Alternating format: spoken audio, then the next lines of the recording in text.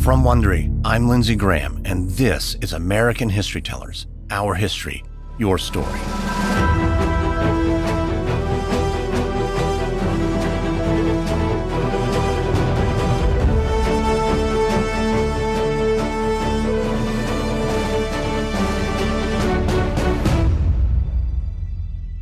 On this show, we look at the events, the times, and the people that shape our country. Wondery's podcast Legal Wars explores the stories behind America's most famous courtroom battles. The fight for free speech on the internet, the Rodney King trial that set off the LA riots. In this special series, we're bringing our two podcasts together to investigate the 1968 Democratic National Convention and the legendary courtroom clash that followed, the trial of the Chicago Eight. Joining me to tell this story is the host of Legal Wars, Hill Harper. Hey, Lindsay. Great to be here. And I'm very excited to share this story with your listeners. The trial of the Chicago Eight goes back further into history than we've ever gone before on Legal Wars to 1968. It was a time of immense change, activism, and turmoil.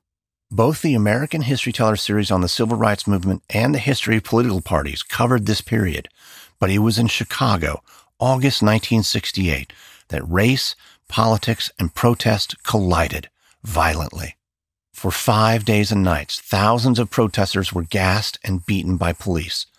Hundreds were injured, and it was all broadcast live on national television. In the aftermath, a federal grand jury convened to investigate possible criminal charges. They concluded their six month inquiry by charging eight police officers with civil rights violations. And eight protest organizers with conspiracy to incite a riot. The ensuing trial lasted for months and was a circus from the very first day. The defendants used the courtroom to amplify their protests. It was so unruly, the presiding judge ordered one defendant gagged and strapped to his chair. Testimony was heard from counterculture heroes like Arlo Guthrie, Norman Mailer, Allen Ginsberg, and Timothy Leary and the trial became a public referendum on Nixon, the Vietnam War, and racial oppression. But it wasn't clear that justice was being properly served. So, for these episodes, Hill and I will be telling the story together. He'll bring you the protests and the courtroom drama, and I'll step in with the history. This is episode one The Whole World is Watching.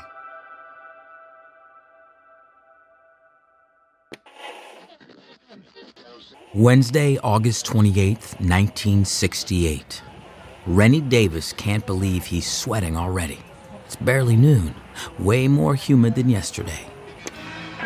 He weaves his way through the crowd gathered in Grant Park, Chicago's front lawn. There's gotta be well over 10,000 people here, maybe even 15,000. He was actually hoping for more, but, well, good enough. The people are ready to hear him, and Rennie's a great talker. He's wholesome, handsome, American as apple pie, resembles Clark Kent, glasses and all, the number one organizer for the National Mobilization Committee to end the war in Vietnam. Nobody calls it that, though. They call it Mobe, and this is Mobe's anti war rally. Rennie spots a friend. He's pleased to see he has a working radio. Rennie, Cops everywhere, man. We're totally surrounded. What's the plan? I talked it over with Hayden and Dellinger. If we have to march to the amphitheater, we'll march to the amphitheater. Let me see the radio. Rennie tunes the FM dial to local news. There's a slight echo on the reporter. Many radios in the crowd are tuned to the same broadcast. For those of you just joining us, breaking news from the Democratic National Convention in Chicago. Delegates have defeated the proposed Vietnam War peace plank. The DNC is happening just down the road from this rally. Rennie had been hoping they'd keep the plank in the platform, commit to ending the war. But no, he can feel anger move through the crowd. A shirtless teenage guy climbs a nearby flagpole to snatch down the stars and stripes. Police yank him off, wrestle him to the ground, cuff him. They drag him away, his jeans smeared with grass stains, his face streaked with mud. Rennie watches as the crowd responds. They take aim at the cops, hurling tomatoes, lunch bags, eggs, clumps of dirt. Rennie knows he must act. He rushes to the bandshell mic, watches as a wave of blue uniforms close in on the crowd like an angry sea. He needs to get control. You're throwing things at our own people. Move back. Hey, hey, yeah, you, you, you, and you. Make sure you keep our guys away from those cops. I don't want it. But it's too late. The Battle of Michigan Avenue has begun. The blue wave approaches the band shell. Before Rennie can run, the cops are on top of it. Kill Davis. Kill Davis. A cop's club finds the back of Davis's head. He falls to his knees. He's crawling, scratching. The police rush him, sticks in hand. Don't let him get over the fence. With his last ounce of strength, Rennie climbs and throws himself over. Jesus. He catches his breath. He's wearing a red tie, but it's weird. It wasn't red when he bought it. And this is how Rennie Davis discovers that he is soaked in his own blood. He decides now would be a good time to lie down. A guy approaches, asks if he's all right. Rennie murmurs back unintelligible. What? What did you say? Rennie hears the screams, the shouts, the chants, the chaos. He knows local and national news cameras are capturing all of it. He didn't want it to go down like this, but maybe it's important people see that they see what happens when protesters gather in peace to protest their government. Through the pain, Rennie manages a smile. I said, the whole world is watching.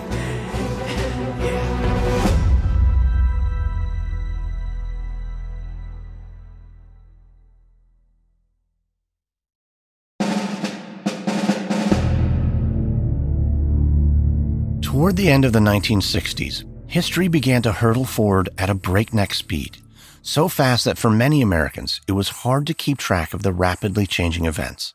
There were assassinations, riots, political scandals, serial killers. The civil rights movement made substantial progress, and culture and the arts pushed new boundaries. But to a lot of people, culture didn't feel like a celebration. It felt like a war. And of course, there was an actual war in Vietnam that haunted and terrified the nation. It acted as a flashpoint of controversy that would leave a profound legacy. The French first colonized Vietnam in 1887, drawn by its lush hills and strategic location. They held a firm grip on the region for more than half a century. But in 1954, revolutionary leader Ho Chi Minh, fighting a guerrilla war against the French in the north of the country, handed them a defeat at the Battle of Dien Bien Phu, which changed the balance of power in the region. A peace conference was convened in Geneva, Switzerland, and the resulting Geneva Accord stipulated that Vietnam was to be temporarily split in half the Communist North, led by Ho Chi Minh, and the anti Communist South. The provisional division of Vietnam, however, was to last far longer than intended. A year later, in 1955, the American military got involved to counter a growing communist military in the North. President Eisenhower feared the global rise of communism and backed the government of South Vietnam with arms and military training. In 1962, President Kennedy escalated that involvement by committing 9,000 troops to the cause. After Kennedy's assassination, it became Lyndon Johnson's responsibility to dictate American policy in Vietnam, and privately, he was ambivalent. With military coups and assassinations in South Vietnam, Johnson felt the U.S. was slowly sinking into a dangerous quagmire. He felt he couldn't withdraw, but was reluctant to send more American soldiers. Then on August 2, 1964, things appeared to change overnight. Sailing through the Gulf of Tonkin, the USS Maddox confronted North Vietnamese torpedo boats and shots were exchanged. Four North Vietnamese sailors died. Days later, the Maddox fired upon the North Vietnamese again. These back to back events, known as the Gulf of Tonkin incident, are highly controversial. At the time, U.S. leaders were aware of the doubts and gaps in military intelligence. Questions arose. Did U.S. raids provoke the attack? Were the North Vietnamese boats that prompted the second battle really even there? Or did U.S. forces respond to false radar images? Officials struggled with conflicting reports, but in August 1964, there were also highly charged political concerns, including the upcoming election to consider. And so the story the White House told Congress and the public was cut and dry. Foreign aggression towards the U.S. Navy demanded a forceful response. And on August 10th, the Gulf of Tonkin Resolution was passed. It authorized conventional use of troops in Southeast Asia, setting the stage for a vast increase in U.S. forces overseas. By June of 1965, 82,000 American soldiers were fighting in Vietnam. At first, a majority of Americans supported the war, but the enthusiasm was short lived. When Johnson increased the monthly draft number to 35,000, protests flared across the country. Amid the protests, thousands of young men continued to leave for the war. In 1967, there were 500,000 U.S. troops in Vietnam. The escalation also corresponded to a growing anti-war movement, comprised mainly of college-age Americans. The movement spread as the Johnson administration's control over information from Vietnam slipped, and a barrage of unvarnished reports showed a picture of a war spinning out of control. In January 1968, U.S. forces were devastated by a series of surprise attacks known as the Tet Offensive. The month after that, 543 American soldiers died in a single week, the highest weekly casualty count since the war began. Then, in an example of violence that shocked the nation, 400 Vietnamese civilians were murdered by American soldiers in the My Lai massacre. As the Democratic Convention of 1968 neared, most Americans agreed that the Vietnam War was a catastrophe, but it was unclear what should happen next. Johnson reportedly told the press secretary, I feel like a hitchhiker caught in a hailstorm on a Texas highway. I can't run, I can't hide, and I can't make it stop. Meanwhile, Ohio Congressman John Gilligan proposed that the Democrats include a call for an unconditional end to all bombing in North Vietnam as part of their platform policy. He called it the peace plank anti war leaders organized to make a definitive statement of protest outside the convention, rallying around Gilligan's peace plank proposal. To them, the war, the lies, the body count were all too much. A confrontation was coming, and it would take place in Chicago.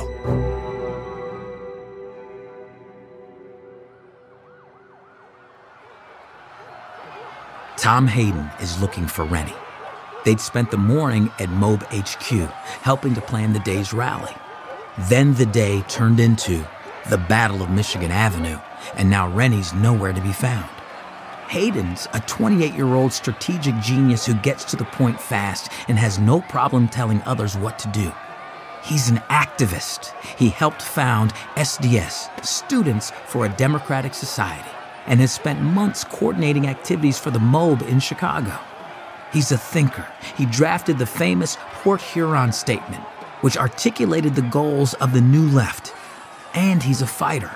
One time, a white mob beat him up while he did civil rights work in Mississippi. He thought he was prepared for Grant Park today. Man, I've never seen anything this vicious. Those cops are after women holding babies. They got billy clubs for Christ's sake. And he can tell when things are getting worse. Desperate squinting against the stinging clouds of tear gas. Tom runs and rapidly overturns park benches as he goes, piling them up to slow the advance of the cops. Tom! Tom, get over here! Here! I think it's Rennie! Tom sees a Mobe medic calling him over. He leaves the benches and sprints over to his friend, who's in bad shape. Rennie's head is split open. He's a bloody mess. I found him like this. We got an ambulance on the way. Rennie, Rennie, it's Tom. Did you hear that? We got an ambulance coming. Ambulance? Nice. They were. They were actually trying to kill me.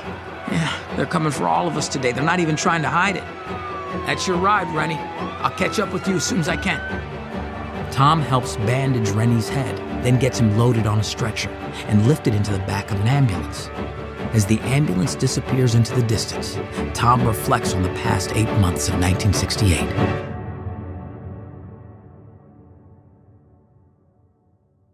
It was an election year and a challenging year. Tom felt it had been the most trying period for America since the end of World War II. Few liked how President Johnson was handling Vietnam. The war was increasingly brutal, the political divisions grew more entrenched, and more and more troops were coming home in caskets. Criticism was especially sharp from the Democrats, Johnson's own party. So earlier that year, Johnson made a decision that surprised many.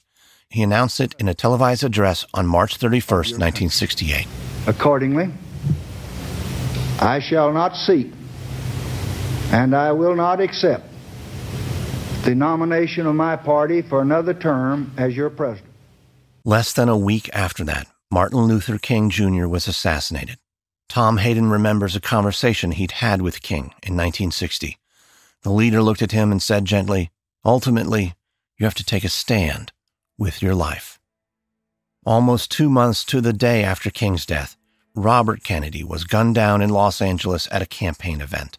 He had announced his candidacy in the race to become the Democratic pick for president challenging Johnson only weeks before Johnson's surprise announcement.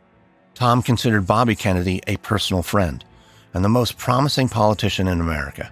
He was, Tom thought, perhaps the only man who could guide the country back to the optimism of the early 60s. Now he was gone, and the presidential race was radically changed. Following the tragedy of Robert Kennedy's assassination, the battle for the Democratic presidential nomination became a two man race Eugene McCarthy versus Hubert Humphrey. McCarthy was a senator from Minnesota and faced an uphill battle. He lacked Humphrey's White House experience. He also lacked Kennedy's charisma and well regarded family name. Yet he was able to win over the youth of America. Just when many young people were giving up on mainstream politics, McCarthy openly took an anti war position and sparked renewed enthusiasm. Student activists volunteered for him in high numbers. Many even trimmed their long hair and beards to look more respectable on his behalf, inspiring the campaign slogan, Clean for Gene. McCarthy soon established himself as a serious candidate, securing primary wins in Wisconsin, Pennsylvania, and Oregon. But he faced a formidable opponent in Hubert Humphrey, the sitting vice president of the United States. Humphrey aimed for the mainstream, arguing that he represented a mature and sensible approach to the future. It was a stance that alienated young activists who demanded immediate and tangible de escalation in Vietnam. But Humphrey's more moderate approach appealed to many of the more conservative voters, and he was seen by many as a stand in for Lyndon Johnson. Though he had entered the race too late to participate in the primaries and win any of their delegates at the convention, Humphrey inherited delegates pledged to Lyndon Johnson, and perhaps more importantly, captured the support of party bosses and labor unions. McCarthy had the backing of young progressives, but whoever won would face a Republican nominee with momentum and unified backing from his party, Richard Nixon. Nixon, former vice president to Eisenhower, was taking his second run at the presidency. In 1960, he'd lost to the younger and more camera ready John F. Kennedy. But in 68, Nixon felt his time had truly arrived. He cruised to his party's nomination, never losing his status as the frontrunner. The Democrats agonized over questions of leadership up to and during their convention in August. But Nixon, in contrast, had his party's nomination all but wrapped up by the end of June, defeating George Romney, Nelson Rockefeller, and Ronald Reagan. Nixon kept discussion of his policies centered on domestic concerns. He vowed to bring law and order to America and end social welfare programs. He declared that his support came from those who didn't buy into the counterculture and anti war theatrics. He called them the silent majority. When questioned on Vietnam, he kept his answers vague, suggesting he'd find a way to end the war, but offering few specifics on how to do it. When Nixon won the nomination, he sought to strike an optimistic chord with his acceptance speech. When addressing the nation, he said, And so tonight, I do not promise the millennium in the morning. I don't promise that we can eradicate poverty and end discrimination and eliminate all danger of war in the space of four or even eight years. But I do promise action. A new policy for peace abroad, a new policy for peace and progress and justice at home.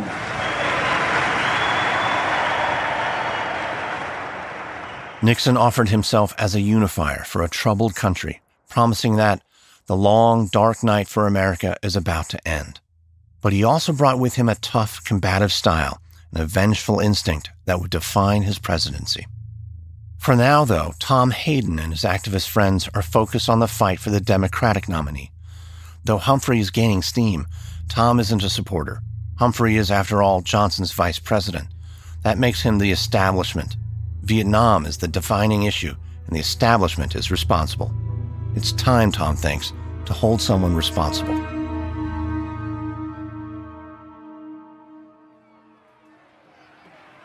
In the park today, the establishment crossed a line. Hours later, Tom addresses his fellow demonstrators. Rennie has been taken to the hospital, and we have to avenge him.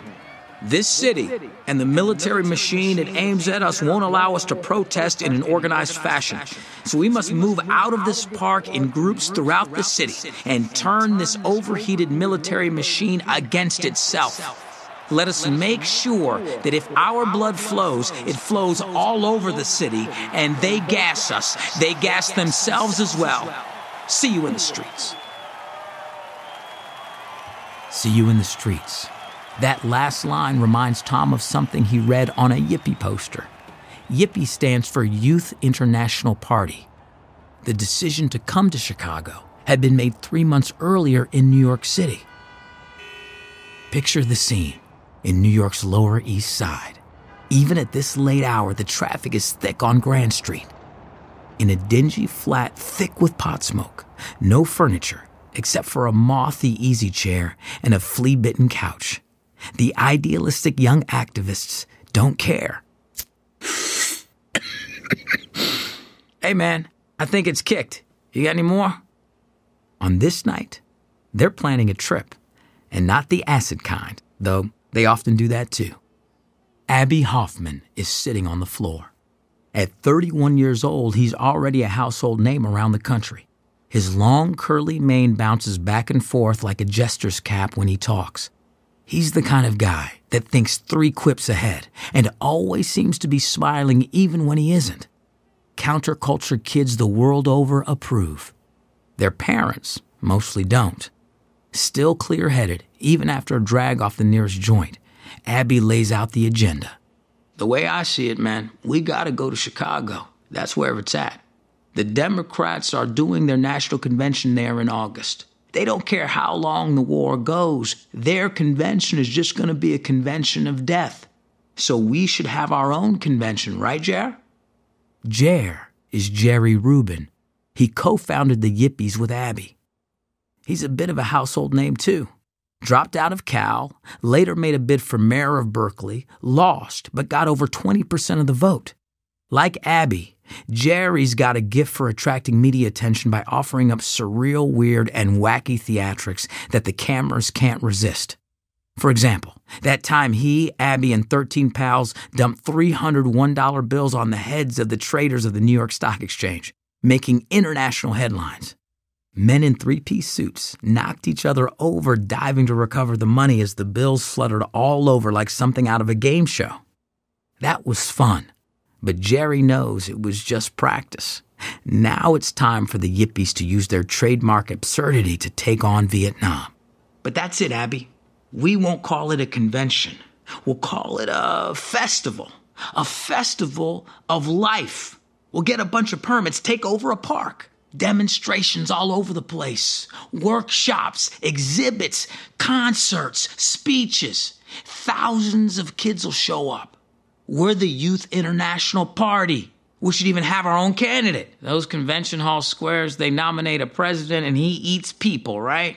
Yeah, yeah. More kids to Vietnam, gobble gobble, right?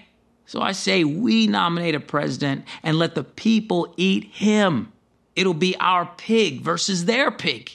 You want to buy a pig? I want to buy a pig.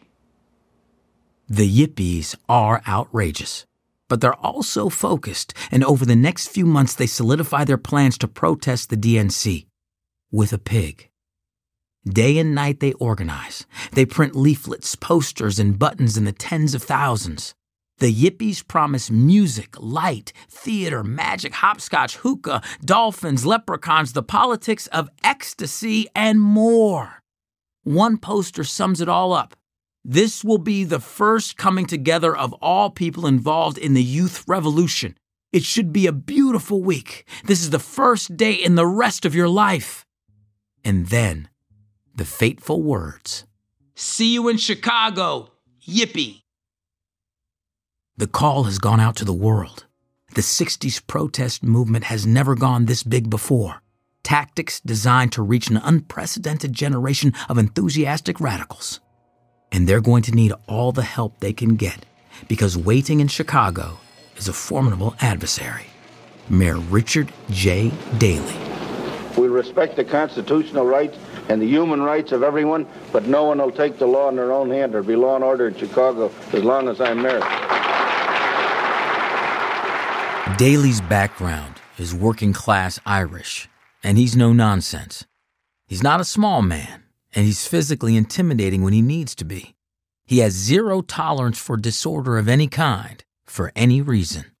He's made that much clear this year. In response to black unrest in the city following the assassination of Dr. King, Daley gave his cops free reign. Shoot to kill any arsonist or anyone with a Molotov cocktail in their hand in Chicago. Daley may be a Democrat, but he's far from progressive. And the last thing he's going to allow on his watch is for protesters to interfere with his party's national convention. During a staff meeting in July of 1968, with a month to go until the start of the convention, Daley sits at the head of the conference table, flanked by his staff. An aide brings him up to date on the latest. Next, Mayor Daley, we have a permit request from the National Mobilization Committee to end the war in Vietnam. They want to organize a march the week of the convention. A march? Absolutely not. What else? The Youth International Party would like a permit allowing them to spend the night in city parks. Now, Daley can't stop these people from arriving, but he doesn't have to help them one bit. He declines almost every demonstration permit application, and he's ready to go further if he has to. Permit be damned. Abbie Hoffman touches down in the Windy City not long after, in early August 1968, three weeks until the start of the convention. He walks off the plane in his t shirt and cowboy boots with 37 bucks in his pocket and little else but a change of clothes. He hops in a cab and directs the driver to take him downtown to Dearborn Street. This is Mobe's headquarters, a boxy, gray office space where the phones ring constantly and there aren't enough wastebaskets. Balled up papers of various shapes and sizes litter the floor. The National Mobilization Committee to End the War in Vietnam is the country's foremost coalition of anti war activists. They're working with the wild but effective yippies. Abbie's going to help Dave Dellinger with some pre convention community organizing.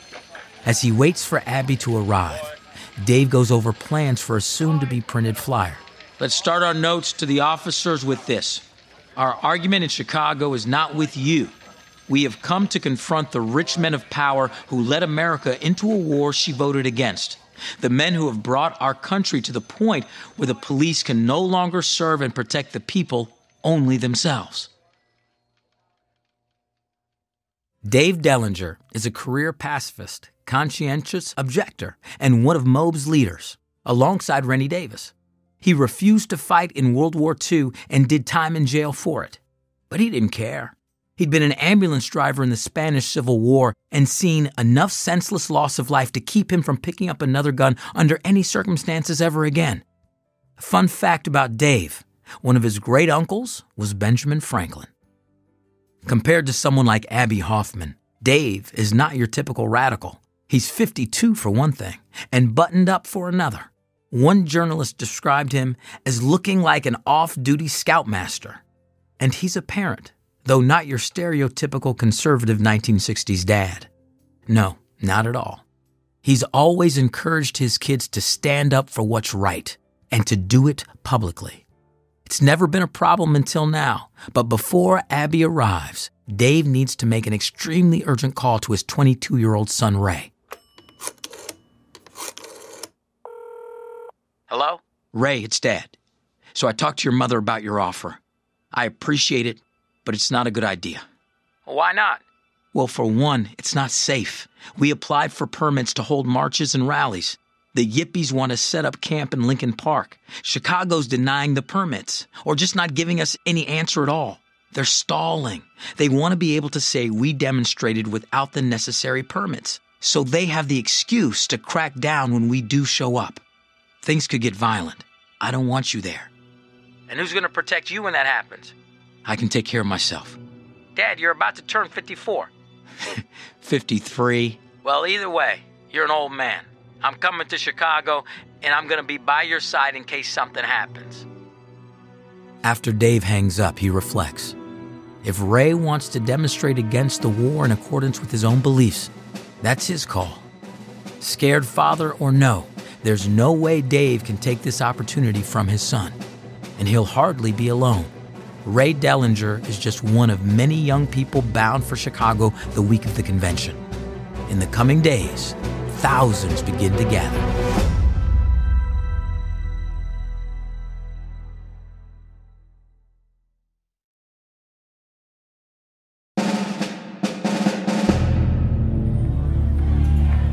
As the convention approaches, they're in the streets. In Lincoln Park, they're on national TV. People start to pay attention. Hippies, yippies, students, teachers, druggies, draft dodgers, pacifists, housewives, rock stars, and the just plain curious. Here from all over the country to demand social reform at home and peace abroad. Mayor Daley is paying attention too. He cancels all days off for his police department, institutes a mandatory 12 hour shift for every officer. He calls in 15,000 Illinois National Guard troops. They're on combat alert. Daley makes sure the police superintendent knows what to do. Jim, I want a 10 p.m. curfew strictly enforced, especially in the parks. Got it? It's now August 23rd, 1968. Three days until the convention begins on the city's south side in the International Amphitheater on Halsted Street. Five miles away, at the Chicago Civic Center, the Yippies unveil their candidate. The Youth International Party's presidential hopeful has been christened Pegasus. Abbie Hoffman bought him a few days ago from a dumbfounded Illinois farmer. Pegasus arrives at the rally in a station wagon under the care of seven Yippies. Honestly, Jerry Rubin is a little annoyed by Pegasus. He doesn't think he looks mean enough and tells Abbie so. He looks so wimpy. But Jerry is a team player. It's fine. If they can't have Pegasus in the White House, they can have him for breakfast. I, Pegasus, hereby announce my candidacy for the presidency of the United States of America. Jerry is reading the pig's acceptance speech when the cops arrive to apprehend the swine. Jerry Rubin is also arrested, the first of several that day. That night, the cops catch Pegasus's wife, Piggy Wiggy, after the Yippies let her loose in Lincoln Park. She's reunited with her husband at a local shelter. Protesters gather outside crying, Free the pigs! Free the pigs! Eventually, the animals go back to their farm. The Pegasus farce is the quintessential Yippie stunt. Pure political theater. A good laugh. But no one's laughing on Monday, August 26th, day one of the DNC. Tom Hayden gets as close to the convention as the roadblocks will allow. He watches National Guardsmen load up their M1 rifles, gas canisters, and shotguns. Rennie Davis observes that 2,000 feet of barbed wire surround the International Amphitheater. Back in Lincoln Park, about a thousand demonstrators, mostly in their early 20s, nervously wonder if they'll be able to sleep in peace that night. On August 26, 1968, the Democratic National Convention began. The summer heat was intense and exacerbated tensions inside and outside of the International Amphitheater. Outside, anti war demonstrators fought cops. Inside, Democratic politicians fought each other. There were competing slates of delegates from Texas, Georgia, Alabama, Mississippi, and North Carolina, and they clashed over which group would be allowed to officially represent their state. It got physical. There were punches, kicks, and some delegates were forcibly removed from the building. Those in the International Amphitheater were well aware that there were thousands of demonstrators gathered outside. Some took notice of the violence. On the convention floor, Senator Abraham Ribicoff of Connecticut announced his support of McGovern and criticized the Chicago police for its Gestapo tactics right in front of the host delegation from Illinois. Richard Daley, the mayor of the city, and in the Illinois delegation, was incensed, shouting from the floor, cursing at Ribicoff with an anti Semitic insult that, while not picked up by the microphones televising the speech, was still clear to anyone watching. Adding to the tension was the uncertainty about who the party's nominee for president would be. The two man race of Humphrey and McCarthy had been shaken up just two weeks before when South Dakota Senator George McGovern entered the contest. McGovern was openly opposed to the war and saw himself as the candidate who came closest to capturing the spirit of the late Robert Kennedy. Delegates at the convention still had yet to choose from now three candidates. But it wasn't just the candidates that many anti war activists had their eyes on. They were also watching the proposal to the Democratic platform, the Peace Plank, authored by Ohio Democrat John Gilligan. The plank called for an end to bombing in North Vietnam and for serious steps to be taken toward ending the conflict altogether. The Democrats were set to vote on it at the convention, and if supported by a majority of delegates, the plank's strong anti war message would become an official part of the Democratic platform heading into November's presidential election. The debates were tense. While state delegates were fighting about representation, some media got caught in the middle. Reporting for CBS, a 36 year old Dan Rather took a punch to the gut on live TV. I'm sorry to be out of breath, but somebody belted me in the stomach doing that. What happened is a Georgia delegate. It was mayhem inside the convention, and yet still unclear which way the votes would go. That evening, 2,000 protesters violate Mayor Daley's curfew and refuse to leave Lincoln Park, the largest public park in Chicago. The police arrive and set off the first battle they beat and arrest demonstrators until dawn. The next day, Black Panther co founder Bobby Seale arrives from Oakland to make a speech, filling in for fellow Panther Eldridge Cleaver, who dropped out last minute.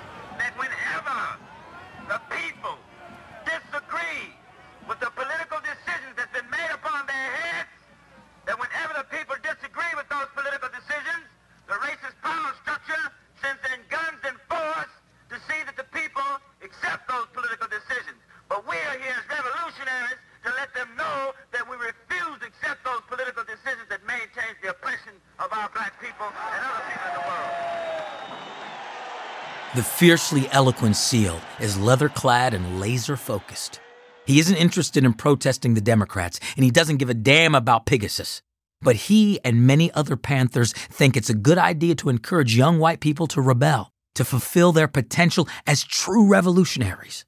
Maybe then they can be allies and aid in the black struggle against oppression. True convergence is occurring in Chicago as political, racial, and social radicals intersect and clash with the authorities for the right to influence America's future. The day after that, Battle of Michigan Avenue. Rennie Davis barely escapes with his life after getting helped into the ambulance by Tom Hayden. Twice the cops come for Dave Dellinger's head with nightsticks, and twice Ray Dellinger pulls his dad out of harm's way in the nick of time. Meanwhile, Jerry Rubin, wearing a plastic bandolier and love beads, is chased through the park by the cops. He manages to lose them and takes his aggression out on an empty squad car, throwing paint on it.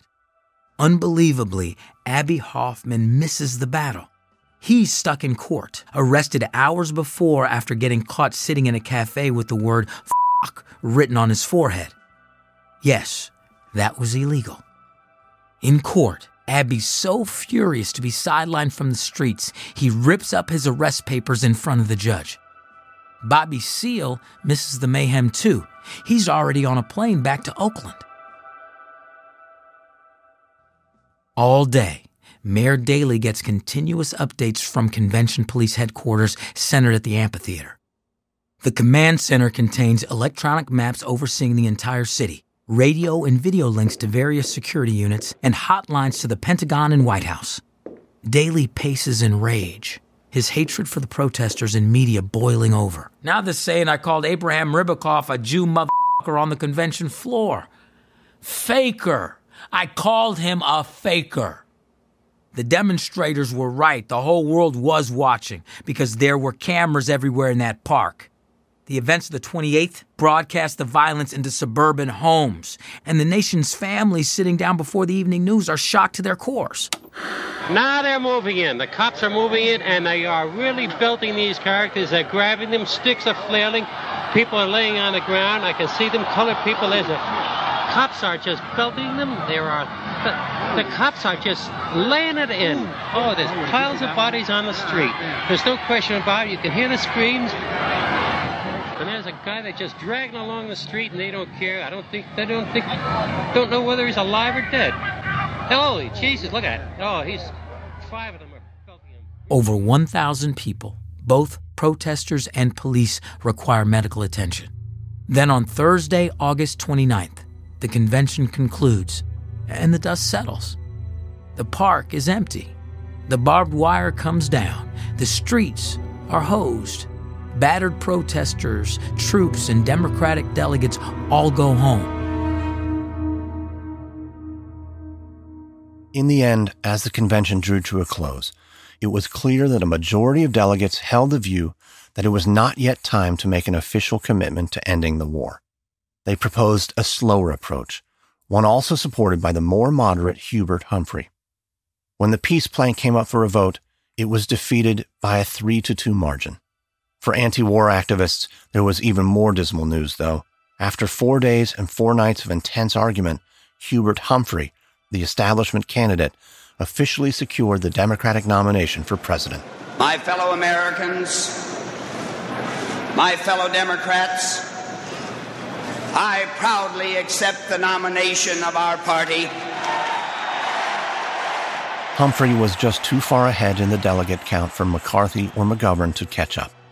McGovern entered the fray late in the game and won just 146 delegates. McCarthy won 601. But Hubert Humphrey wrapped up the convention and the race for the nomination with nearly 1,800. Also coming out on top was Edward Muskie, senator from Maine, Humphrey's pick for vice president. The newly selected Democratic ticket and the failure of the peace plank meant the gap between the party leaders and those in the streets would grow even larger. To activists, it was further proof that the political leaders couldn't be counted on to make the bold changes that were called for, and the issue of Vietnam would remain unresolved.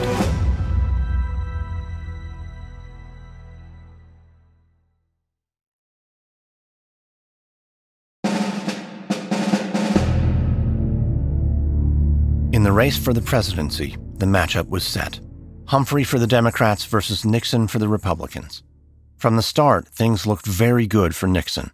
His party was united behind him, and he'd locked down his nomination with little fuss. In contrast, the Democrats were a disaster. Their convention had been one long, bloody screaming match, and the party was still divided. With about four weeks to go until the election, Humphrey trailed Nixon in the polls.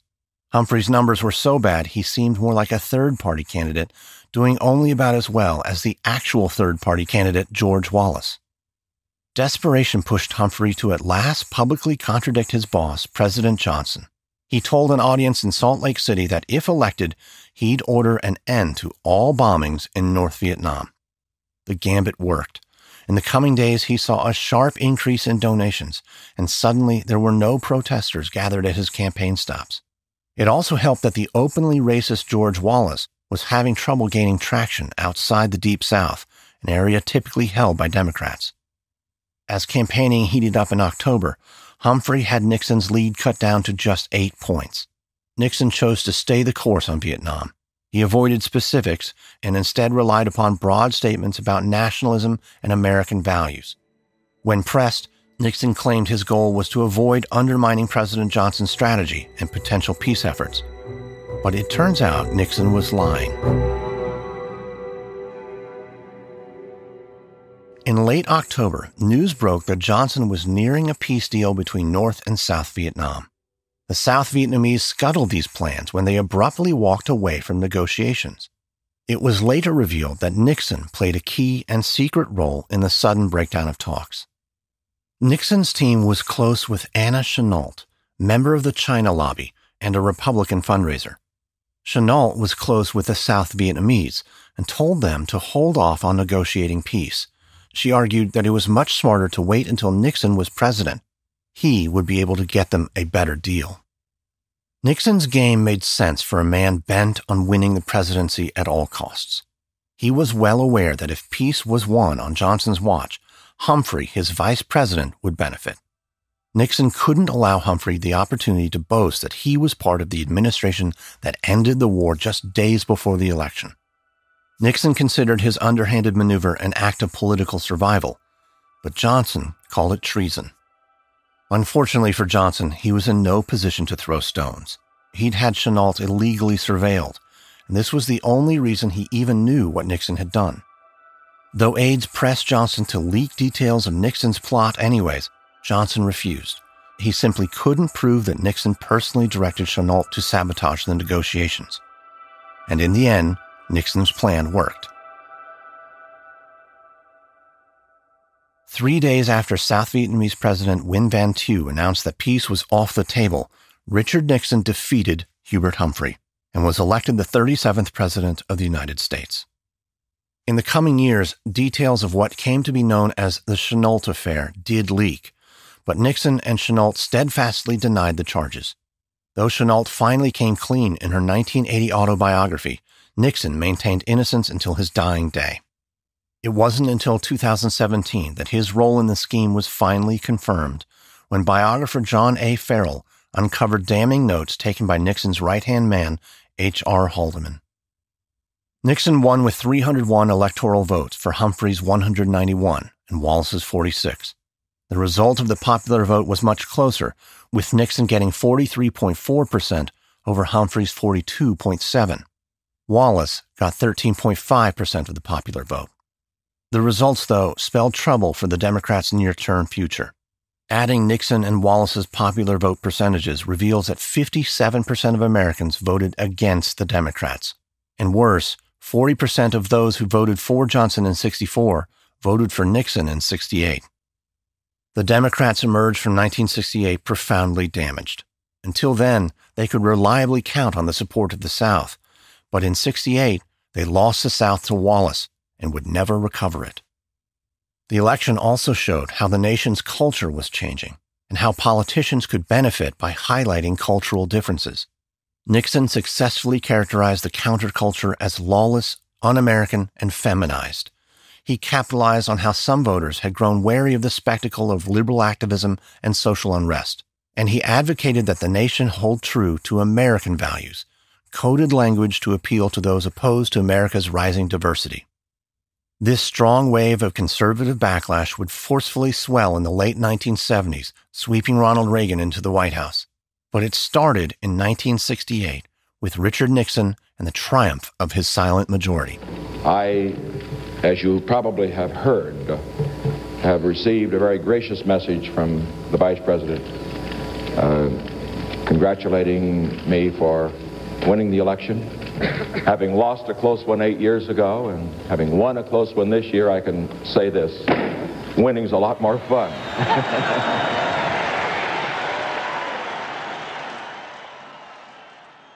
Richard Nixon was president. The political alignment of America fundamentally shifted. The Democrats retained the House and Senate, but in addition to losing the presidency, they lost the support of the southern states. But that's not all they lost. Gone too was the public's confidence in their ability to manage the war. On December 1, 1968, the National Commission on the Causes and Prevention of Violence released what became known as the Walker Report. President Johnson had formed the commission earlier that year as he struggled to process the back to back assassinations of King and Kennedy. Tasked with analyzing assassination, protest violence, firearms, and law enforcement, the committee naturally turned its attention to the chaos at the Democratic National Convention. After reviewing more than 20,000 pages of statements from more than 3,000 eyewitnesses, the commission summed up the violence in two words police riot. But Richard Nixon had other ideas about who to blame. And when he sworn in on January 20th, 1969, he got to work. Nixon appointed his personal friend John Mitchell as the new Attorney General. They both agreed with Chicago Mayor Daley that someone needed to be held responsible for what happened that summer. And they had an idea of who it should be.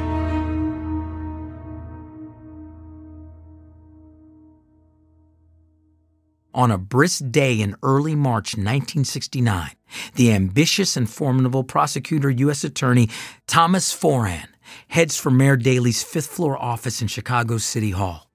The two are political allies. Foran has made his name putting the scum of the city's underworld behind bars, and the mayor is grateful. Tom, please sit down. Foran takes a seat opposite Daley, who reclines behind an imposing, enormous oaken desk. Before the mayor is a bust of Lincoln. Behind him, the American flag. Tom, I want you to know we're moving forward, and it will be your job to bring the outside agitators to justice. Foran smooths his tie and allows himself to smile. His pleasure can't be overstated, but he wants to maintain his composure. He knows that if he plays this right, there may be a Senate seat with his name on it. I won't let you down, sir. On March 20th, 1969, 16 indictments come down. Half are cops. Foran does his part to make sure they get off quickly and easily. The other half of the indictments are quickly labeled the Chicago Eight. All men and all white, except for one. And so they're looking to extradite you to Illinois. I'm already on trial for my life. Now they want to charge me with this bullshit? I was in Chicago for a day. A day. Bobby Seale is sitting in the San Francisco County Jail awaiting trial on conspiracy to commit murder. He's innocent, but the authorities of New Haven, Connecticut claim he secretly gave the order to take out an informant who'd infiltrated that city's chapter of the Black Panthers. That's bad enough, but now he can't believe what his lawyer, Charles Garry, has just told him. Well, you made a speech, and you're black. They're saying you incited the crowd to violence. Plus, since you don't live in Illinois and flew in from California, they're calling that conspiracy to travel across state lines to encourage a riot. Wait, conspiracy? With who? With who, indeed. Bobby Seale has never met any of the other seven guys under indictment, except for Jerry Rubin, and Rubin is practically a stranger. Seale had a five minute chat with him in Chicago, but apparently that's more than enough conspiring for the Nixon administration. If Seale goes down on the Chicago charges, he'll sit in a cell for years. If he goes down on the New Haven charges, he'll sit in the electric chair. The stakes are highest for Seale, but one by one, the rest receive their indictments. Yippie masterminds Abbie Hoffman and Jerry Rubin are the cultural radicals of the group. Dave Dellinger, Tom Hayden, and Rennie Davis are the political radicals. The final two are Lee Weiner and John Froines, soft spoken college science instructors with no radical leadership credentials whatsoever. Weiner rocks a big bushy beard. Froines has a mustache. Nevertheless, both were in Chicago in 1968 and involved in the protests. And for the government, that's enough wrong place, wrong time for the men to be accused of conspiracy. In addition, they're accused of teaching others how to make incendiary devices, though there's no witnesses to support this other than the undercover cops, and no physical evidence either. Weiner and Froines are just as mystified as Bobby Seale as to how exactly they wound up roped into this trial.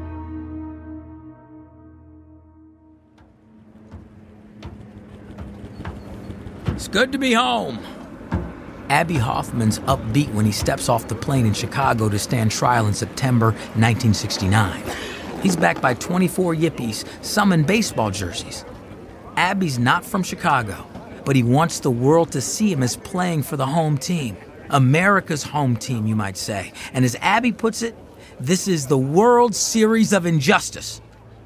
The other seven defendants are on their way.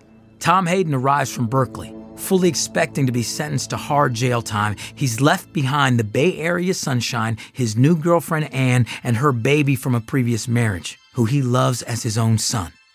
Unlike Hoffman, Hayden lands in Chicago depressed, knowing it may be a very long time before he's able to enjoy time with them again. Jerry Rubin arrives in Chicago annoyed. He's here from Santa Rita Penitentiary in California, where he got arrested for participating in a local demonstration. The marshals there tossed him in the back of a van, and drove him 2,300 miles across the country in chains. When Rennie Davis and Dave Dellinger land in Chicago, they each separately reflect on the roles they'll play during the trial. Rennie knows the Chicago Eight are coming from very different backgrounds, varying strategic points of view. He can employ his diplomatic skills to help mediate disputes and unite the group. Dave Dellinger doesn't want to be on trial, but he's looking forward to it. He's the oldest defendant by far and an absolute pacifist. He will lobby his fellow defendants to stay true to their principles no matter what. If that means voluntarily going to jail, so be it. Bobby Seale's arrival in Chicago comes under much more sinister circumstances. Shut up and get in. Where's my lawyer? Said shut up. Back in San Francisco, in the dead of night, Seale, in leg irons and cuffs, is loaded into a black sedan by federal agents. What makes this illegal? Well, for starters, Seale's lawyer, Charles Garry, is supposed to lead the defense team, a group of lawyers that includes William Kunstler and Leonard Weinglass. But Garry is currently in the hospital for emergency gallbladder surgery. The group filed a motion to delay the trial for six weeks until he gets better. Until that motion is decided, a separate court has declared that Bobby Seale can't be extradited to Illinois from California. But the government wants the trial to begin as scheduled, so Bobby Seale is essentially kidnapped from jail and driven to Chicago in secret. On September 9, 1969, the motion to wait until Charles Garry recovers is denied by the trial's recently appointed judge. We're going to meet him a little later. It's now impossible for Garry to participate any further in the case. The trial starts in two weeks. The defendants call an urgent meeting. They decide they don't have much choice. William Kunstler must take over as lead counsel. At 50, Kunstler is nearly as controversial as the clients he represents. He's brash, loud, flamboyant, passionate. Some think William Kunstler is brilliant. Others think he's a troublesome publicity hound. But it's hard to argue with his credentials. He's represented Dr. Martin Luther King Jr., Stokely Carmichael, and Malcolm X. Jerry Rubin and Bobby Seale are in Cook County Jail for the time being, and Kunstler is still getting accustomed to the idea of spearheading the defense. The defendants who aren't in jail share a cheap communal apartment on Chicago's South Side. Kunstler decides to meet them there for a pretrial meeting, knowing it will be hard to replace Charles Garry. Garry was well respected by all and the only lawyer on the planet that Bobby Seale trusts. This is not a quiet group.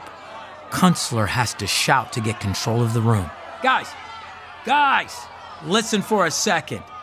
That's what I'm saying.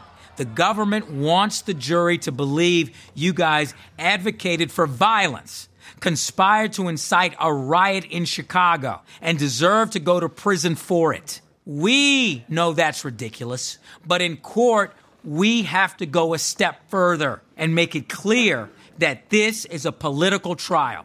We have a right of resistance. That's what I want to make clear, and I'm going to make it clear in that courtroom. The whole system is f***ed, and we're going to bring it down.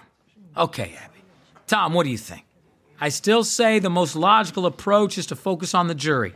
Theatrics are great, but we shouldn't get carried away. Deliberate, rational argument that wins over one, maybe even two jurors, that's all we need for a hung jury. I like my idea better. Your idea is unwise. Len, you want to weigh in here? Leonard Weinglass is a law professor at Rutgers. Tom brought him onto the legal team. He knows every last detail of the case. Both strategies could be effective. Either way, I believe the facts alone should be enough to keep you out of jail. But the prosecution won't make it easy. I think we need to defy the court at every turn. Dave, it's not an either or. Let's go for both strategies in there. Let the world see what the yippies are all about. But let's also remind everyone that this is all a political sham, and Nixon just wants to distract everyone from the corrupt and unjust war in Vietnam. That was Rennie Davis with the compromise. Abbie Hoffman wraps up the meeting. We're gonna make that judge and that court look completely ridiculous, man. I can't wait. On Friday, September 26th, 1969, just before 10 a.m., Abbie Hoffman enters the federal building by performing a full front flip somersault. He sticks the landing. The trial of the decade has begun. On the next episode of this special American History Tellers and Legal War series, the insults and the punches keep flying. We'll also delve into the rise of the Black Panthers and their impact on the civil rights movement.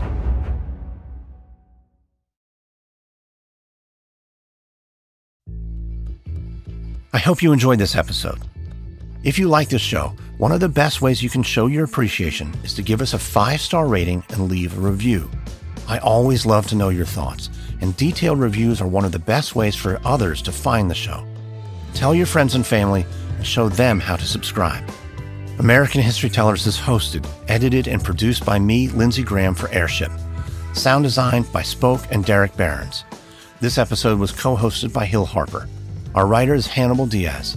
Our legal consultant is Katie Berghardt Kramer, and our researchers are Caitlin Kremen and Dan Wallace. Our editors are Casey Miner and Dorian Marina. This episode was produced by Stephanie Jens, George Lavender, Jenny Lauer Beckman, and Katie Long. Our executive producers are Marshall Lewy and Hernan Lopez for Wondery.